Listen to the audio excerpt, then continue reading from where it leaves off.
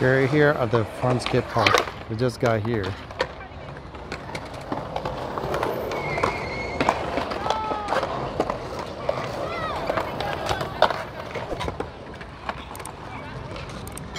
He's gonna do his thing.